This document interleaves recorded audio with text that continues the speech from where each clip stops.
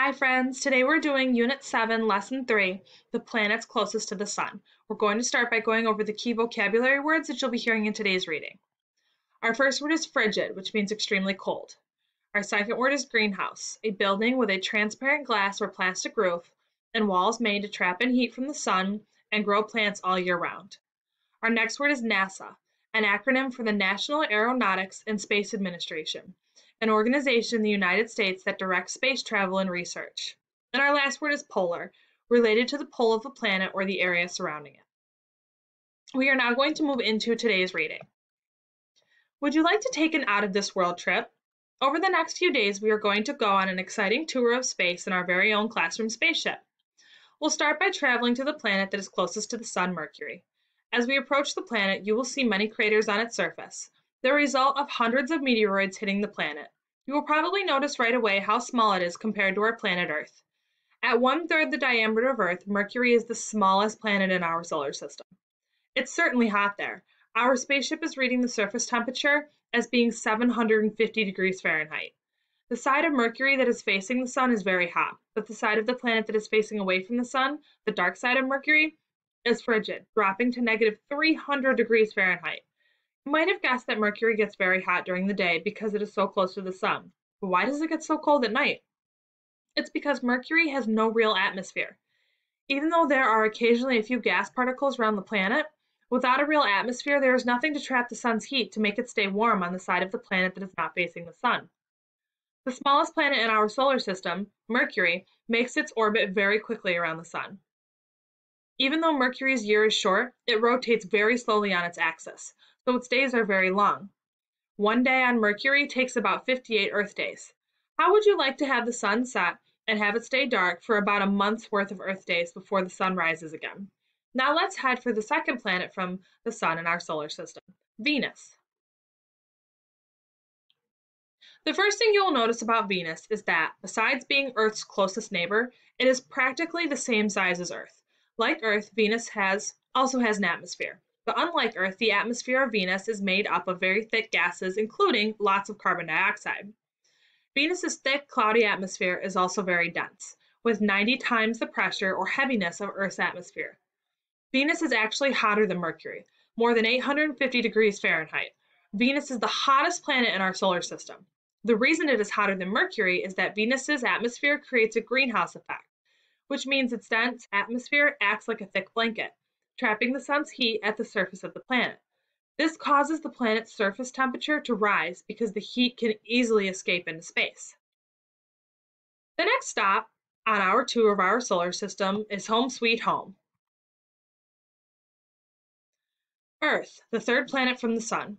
From way out here in space, it looks different from all of the other planets. Planet Earth appears as a swirl of blue, white, and green thanks to our water-filled oceans, the clouds of our atmosphere and the green of the planets growing on our planet. It looks bright and glowing and alive. We live on a very beautiful planet. Let's zoom past Earth and head toward the fourth planet from the Sun in our solar system, the red planet, Mars.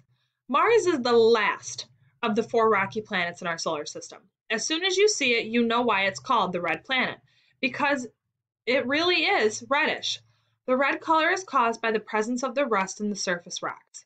Even though Mars is only half the size of Earth, it still takes about 24 hours for it to rotate on its axis. So a day on Mars is really the same length as a day on Earth. Like Earth, the red planet has an atmosphere, and even polar ice caps made of frozen water. But the thing that may really catch your eyes as we get closer is our solar system's tallest volcano, Olympus Mons, which is three times as high as Mount Everest, Earth's tallest mountain. That's right, Mars has the tallest volcano in our entire solar system, much larger than any here on planet Earth. As we prepare to leave the Martian orbit, we will pass by its two moons, Phobos and Deimos. The planet Mars was named for the Roman god of war Mars, who was called Ares by the ancient Greeks. Phobos and Deimos were Ares' two sons. We'll have to go through the asteroid belt to get from Mars to Jupiter, the fifth planet from the Sun. The distance between Mars and Jupiter is more than three times the distance we've traveled so far. Do you see Jupiter? There's no way you could miss it if you tried. Remember, Jupiter is the largest planet in our solar system, and it's absolutely gigantic. It's so big that more than 1,300 Earths could fit inside it. Did you know that Jupiter has rings? Saturn is famous for its beautiful rings, but Jupiter has them too, in fact. All four of the gas giants in our solar system, Jupiter, Saturn, Uranus, and Neptune, have rings, though the rings are not visible in many images you see of Jupiter, Uranus, and Neptune. You may be wondering if we could land on the surface of Jupiter. Like the other gas giants, there's not a solid surface to land on, just hundreds of miles of gas, below which is a sea of liquid hydrogen. Besides, Jupiter's atmosphere is, is extremely cold, stormy, and windy. These storms are what give Jupiter that marbled appearance. Do you see that giant spot on its side? That's called the Great Red Spot, and it is a gigantic storm that's bigger than the entire Earth. There's no way we could land a spaceship there. Let's take a look at some of Jupiter's moons. Scientists have discovered more than 60 moons so far, so there are many to choose from. Here are four moons discovered years ago by Galileo Galilei, a scientist you will hear more about later. Their names are Callisto, Ganymede, Io, and Europa. Made of materials ranging from frozen ice to molten or melted rock, these natural satellites have amazing sights, which include frozen oceans and volcanoes. The distance we must travel to get to the sixth planet from the Sun in the solar system, Saturn, is about the same distance it took us to get from Mars to Jupiter. It's far. Like Jupiter, Saturn is another gas giant, and its atmosphere has winds that are even stronger than hurricane winds on Earth. But what may take your breath away is the sight of the rings. They are absolutely beautiful. You might be surprised to learn that Saturn's rings aren't solid. They're made up of pieces of rock and ice. Astronomers believe that debris in some of Saturn's rings is held in place by a combination of the pull from Saturn and the pull of some of Saturn's many moons. The moons that are believed to help hold some of Saturn's outermost rings in place are called shepherd moons. It's time to head to the seventh planet from the Sun in our solar system, Uranus. If you thought the trip between Jupiter and Saturn was far, then you may want to sit back and take a nap. The space between the planets gets bigger out here where the gas giants are. Uranus is about twice as far from the Sun as Saturn is. No wonder astronomers didn't discover Uranus until after the telescope was invented. It's a long way away from Earth.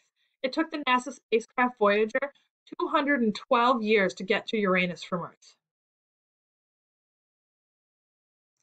As we approach Uranus, you may be wondering why it appears to be rolling on its side. The poles of Uranus are in different positions than the poles of other planets. Uranus's axis is tilted a lot more to its side than the other planets in our solar system. Many scientists think the axis became so far tilted during a collision that happened when the solar system was forming. Like the other gas giants, Uranus also has rings and moons, though the rings are not easy to see like Saturn's rings. Finally, we have arrived at the last planet, eighth from the Sun in our solar system, Neptune. Even though astronomers know a celestial object was there before they identified it, the planet Neptune was discovered fewer than 200 years ago. In 1846, it is the largest of the four gas giants in our solar system. Neptune has two rings around it that are hard to see, many fewer than Saturn. Scientists don't know as much about Neptune as they do about some of the other planets. It's hard to study because it's so far away.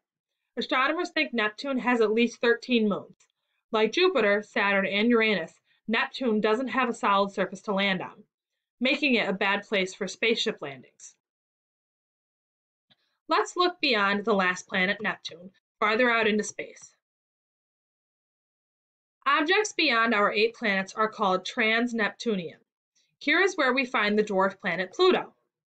There are many other trans-Neptunian celestial bodies in our solar system, even farther away than Pluto, that astronomers are only beginning to discover. The distances in space between these objects are astronomical. And beyond our solar system, there's a whole neighborhood of stars. And beyond that neighborhood of stars, there are billions of other neighborhoods of stars. Why, there's a whole universe out there just waiting for us to learn more about it. You may now move on to Unit 7, Lesson 3, Google Form.